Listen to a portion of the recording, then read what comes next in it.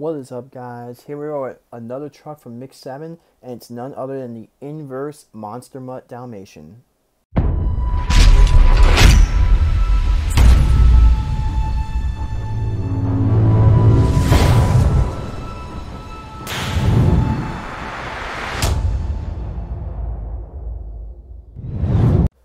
Alright, so the Inverse trucks, these are pretty cool, I have to admit. It is pretty cool. I like the idea, I like the concept. I think this truck looks really cool, and I think this was definitely one of the trucks worth doing.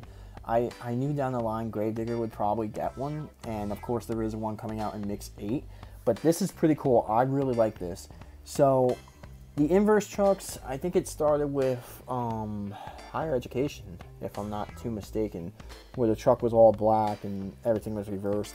But for Mix 7, it is currently the Monster Mutt Dalmatian, and just like all the Mix 7 trucks, um, so far, after reviewing all these and actually looking at them, I don't know about Alien Invasion. I think that one's eh. Earthshaker might be eh. But this one's definitely near the top here, as you see the whole mix right there. And this thing, I can't actually wait to look at this thing. As you see in the package, this thing just looks cool. So this truck is pretty rare. I haven't really seen this one as much as the other ones, such as Gravedigger, Megalodon, um, Earthshaker. Those ones are probably the easiest ones to find. And then I would say like the next tier trucks that are pretty hard to find would probably be Max D and Avenger, but I am starting to see more and more of Avenger. But the hardest ones definitely to find are Zombie and Horsepower. Those ones are pretty tough. But with that being said, let's crack this thing open and take a closer look at this inverse truck. Alright, so this thing right out of the package basically pops. This might be one of my favorite trucks from this mix. This thing's pretty cool. So as you guys do know by now, it comes with the problem card, which will flash that on screen because, you know, problem card. And then we got the awesome poster. The poster does include Earthshaker on the back of it, and it does include Mix 8, which I cannot wait for Mix 8. Hopefully that gets released within a couple weeks from now. And hopefully Targets and, you know what, screw it, I'm just going to go to Kohl's, because Kohl's always seems to have everything. So anyway, um, here we go with the inverse Monster Mutt Dalmatian. So really cool design. We've seen a lot of Monster Mutts this year and video problems once again. But anyway, so we've seen a lot of Monster Mutts this year and this one does come with a red action figure.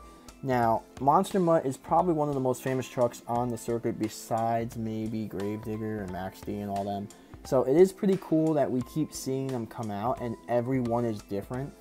This personally might be my favorite one. Now, I do like the ice version of the truck, but I don't know, this one looks really cool. So, anyway, once you open it, you're going to notice it has these red tires, it's got the black rims, and it's basically an inverse Dalmatian with a chrome chassis, which is really, really, really cool. So, we're going to compare it here to the first and final version of Monster Mutt Dalmatian. Now, this one is from Mix 1, and it's the final version because it has the blue stones on the collar and also the whiskers and the pointed tongue.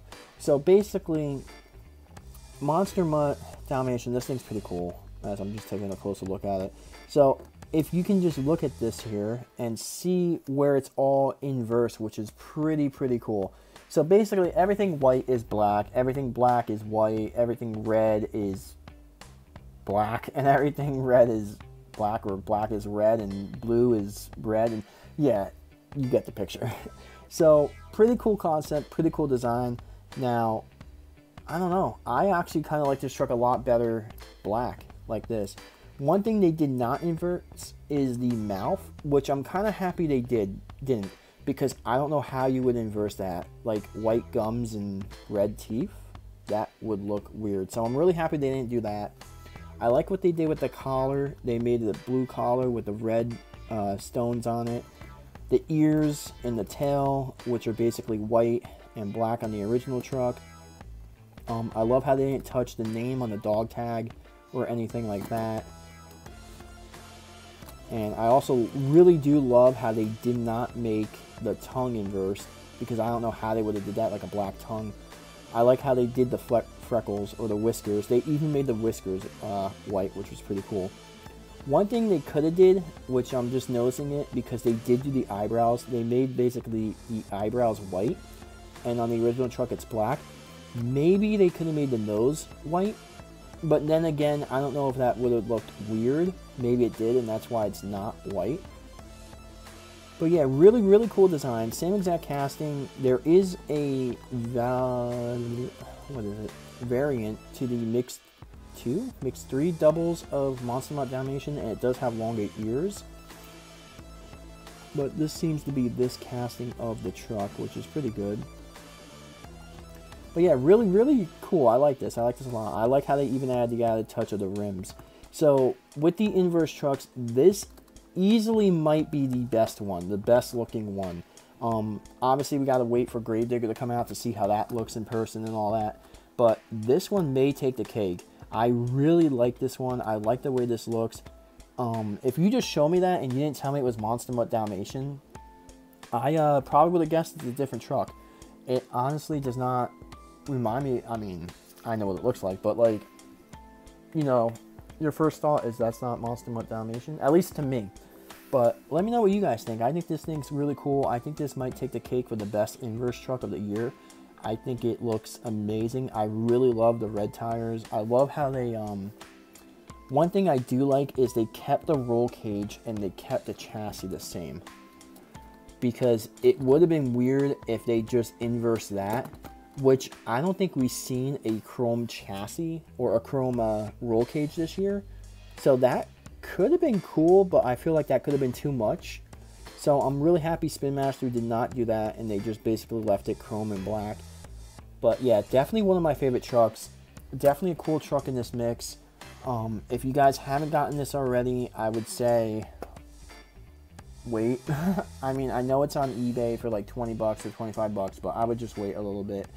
I know it's tempting, trust me, I know, but it's a really cool truck. Definitely one of the best trucks in this mix, and definitely a truck that Spin Master took the time and they did it right.